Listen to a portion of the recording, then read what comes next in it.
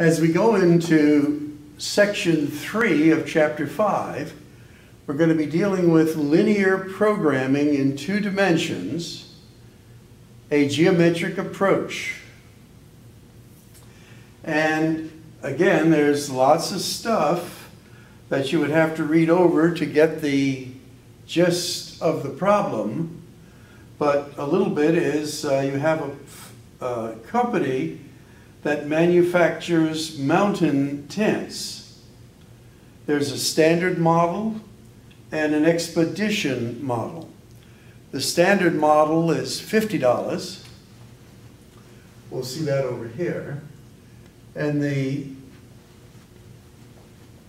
expedition model is $80. And you'll see how they develop that by reading the textbook.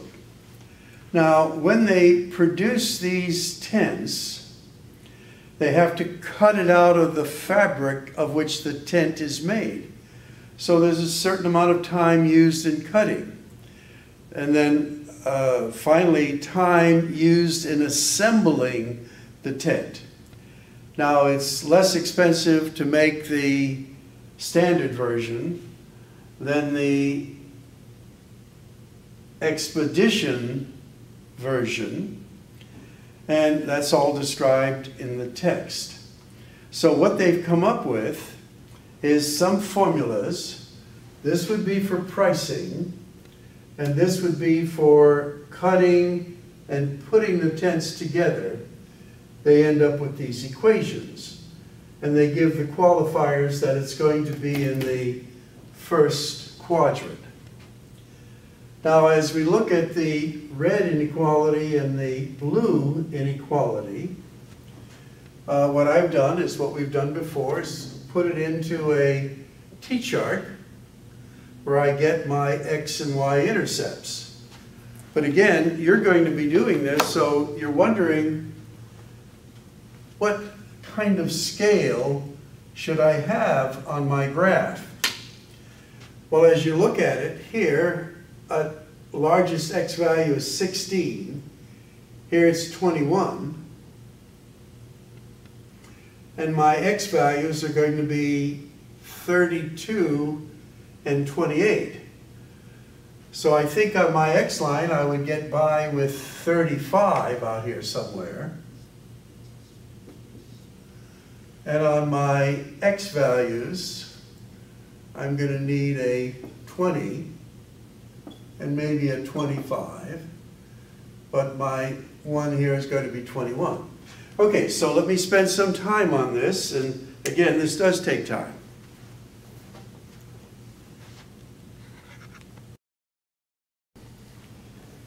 Okay, by taking our points from the x and y t-chart, x and y intercept t-chart, we have here 0, 16, which is right there, going down to 32, 0, which is our red line. In our blue line, we have 0, 21 up here, going down to 28, 0. Now you notice that these two lines intersect at this corner point, which is 20 comma 6.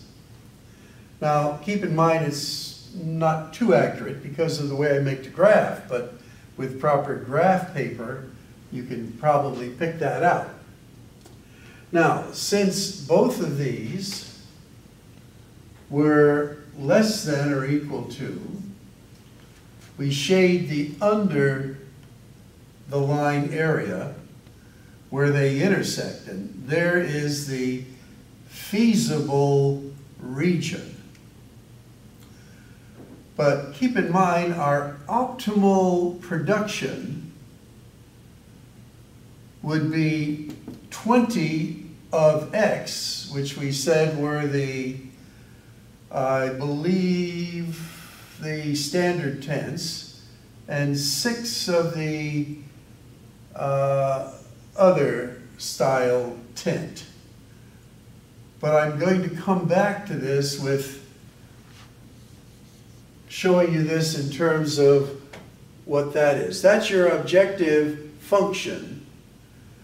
And you have it subjected to this, and you want to see something. So, again, all of this is described in the textbook, but they then go on to use this. So I'm going to modify this diagram some more so you can see this part of it.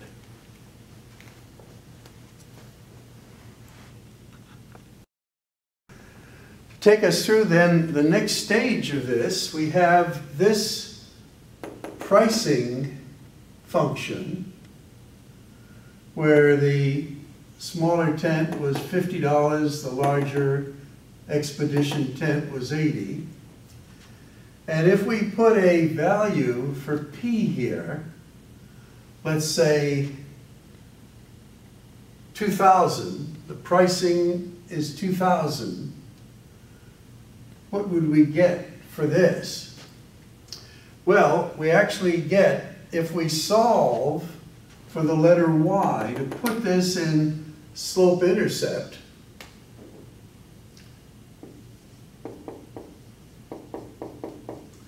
by solving for y. So I'm going to take my positive 80y, in a sense leave it there, move this over to the other side, I get a negative 50, and then the p is there. Then I divide everything by 80.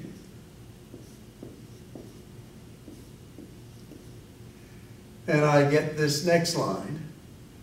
And I can just cancel out that. And I have now my slope is a negative 5 eighths x over p. So as I put a value in here, and, and the book does this for you, let's say of 2,000, you get this particular line. So this line is outside of your uh, answer field here. Uh, the word they use for that is feasibility region. But if I put in 1,480, and you might wonder where I got that, and I'll show you. It actually goes right through this particular point here. And in this case, the x is 20. So 20 times 50. And the 6 is our y, so 80 times 6 that should give us the 14,800. That is the optimal, the word optimal.